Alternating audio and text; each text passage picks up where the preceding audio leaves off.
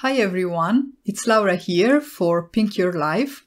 And in today's video I'm going to share with you how to create an ocean scene with a watercolor-like look using stamps by Pink Your Life and Zig Clean Color Real brush markers.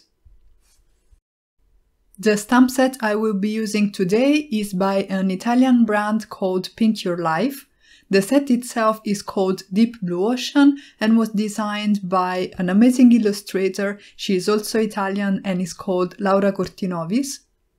She's an amazing illustrator and a very talented watercolorist, and I am not. So I wanted to show you today how to achieve a watercolor-like look using Zig Clean Color Real brush markers.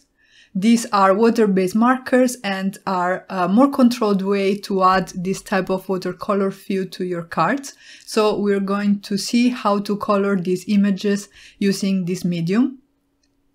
I started by doing some stamping on Bristol Smooth cardstock by Strathmore with scrapbook.com premium hybrid black ink. This ink will not react with water and the reason why I used Bristol Smooth cardstock is that it's very easy to get a nice blend with Zig Clean Color Real Brush markers. And the reason why I used Bristol Smooth cardstock by Strathmore is that this cardstock has a smooth coating on top, which makes blending your Zig Clean Color Real Brush markers really easy.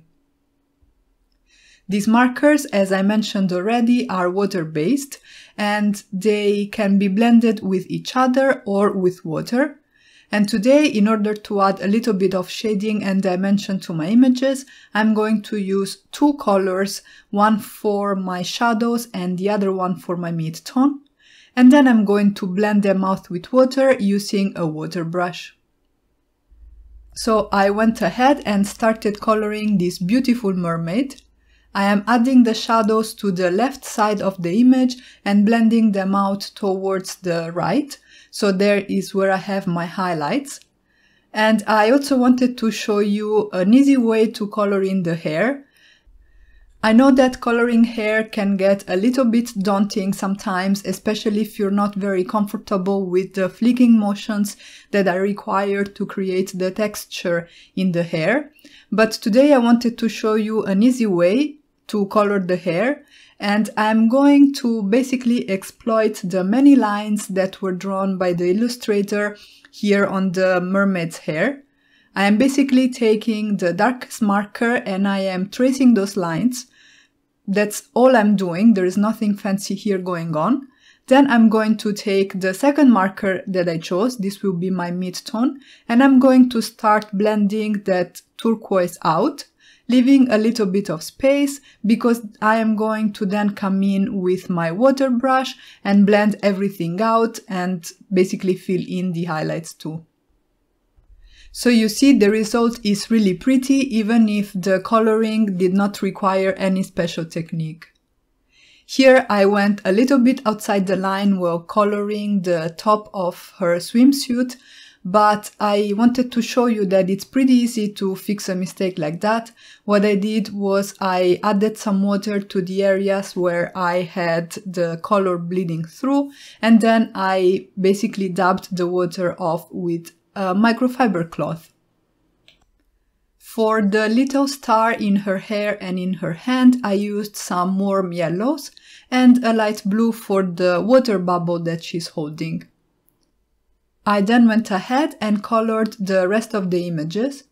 I'm using this blue-gray to add shadows to the whale and then I'm going to blend it out with a light gray marker. You saw I have the markers that I used listed on screen for you so you can use that as a reference. And then again I'm coming in with my water brush and I am blending everything out. The coloring didn't take too long because Zig Clean Color Real brush markers do actually make coloring pretty quick.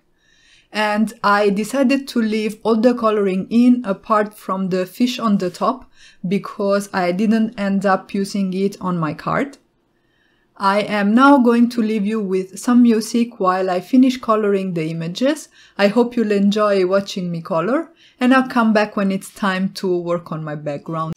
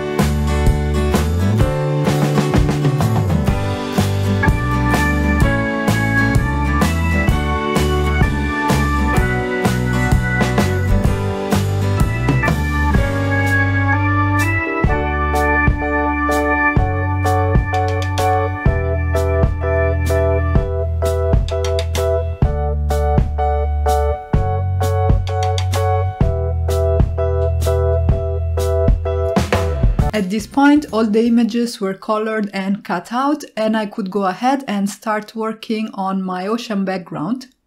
I'm going to use again Zig Clean Color Real brush markers for this on a sheet of Bristol Smooth cardstock by Strathmore that I die cut with a stitched rectangle die. I picked three different blue markers and you can see that I am adding this wavy pattern to the background. I know that right now this doesn't look like the best ocean background you have seen, but trust me, it will be much nicer once we go ahead and add water. I'm using a flat brush to basically first activate the paints. So I am using those same wavy motions to add water where I have the brush strokes from the Zig Clean Color Real brush markers. And then again using that same brush, I'm coming in with horizontal motions and I'm dragging the water and the pigment from the bottom towards the top of my panel. I wanted to add a little bit of depth to the lower portion of my background, so I added the darkest blue marker and then I blended that out again. And then to add even more texture and a little bit of extra color to the background, I just basically swiped the markers across the panel and again I blended everything out with this damp flat paintbrush. I added a few extra touches and then I dried everything with my heat gun. You could leave your paper to air dry, but because I was eager to finish up the card, I decided instead to speed up the drying process with the heat gun. As you can see, I am applying the heat from the front and the back because I am trying to minimize warping but in doing this, because my work surface was not clean, I got a few stains on my background. I definitely did not want to start over again, so I used some images to cover up that mistake and nobody will ever know.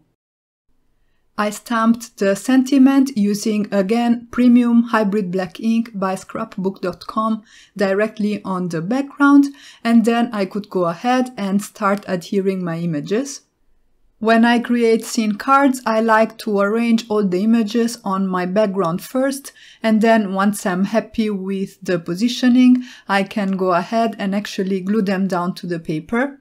And sometimes I take a snapshot with my phone so that I have a reference to use before going ahead and gluing down the images. As a finishing touch, to create the look of water bubbles, I added some Nuvo drops in Morning Dew. I added them so that they are really tiny and they add a subtle detail without taking away too much attention from the card. I left the Nuvo drops to dry and then I mounted everything on a top folding A2 card base cut at 4 and a quarter by 11 inches and scored at 5 and a half inches. And that finished off my card. And here is the finished result. I really love the style of these illustrations and I think that the watercolor-like look that we achieved today suits them really nicely. And that's it for today. If you guys enjoyed this video, please let me know in the comments below, give it a thumbs up and consider subscribing to my channel. You can visit my blog for the full list of supplies and I'll catch you guys soon with the next one. Ciao!